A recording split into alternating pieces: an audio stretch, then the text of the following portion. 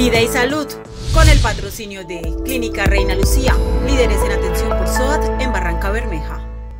Las autoridades de salud del distrito avanzan con la vacunación contra el virus del COVID-19. En esta etapa, la población de 12 a 17 años ya está lista para recibir su biológico, la Pfizer.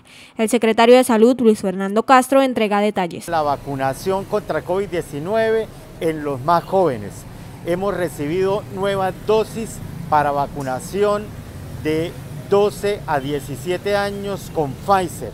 Están disponibles ya en todos los puntos de vacunación autorizados y de igual manera hemos recibido en el distrito vacunación de AstraZeneca para cumplir con los esquemas de segunda dosis. Los padres de familia hablan de la importancia de la inmunización en los menores para que continúen en la normalidad.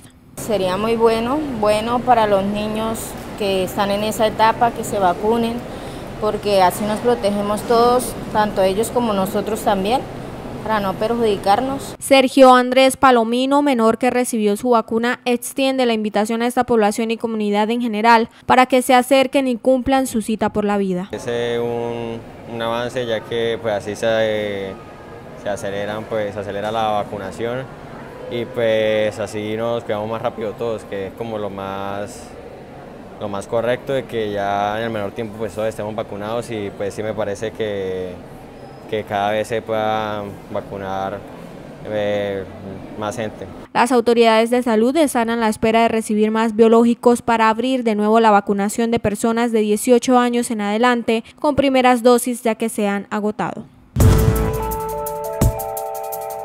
Vida y salud, con el patrocinio de Clínica Reina Lucía, líderes en atención por Bermeja.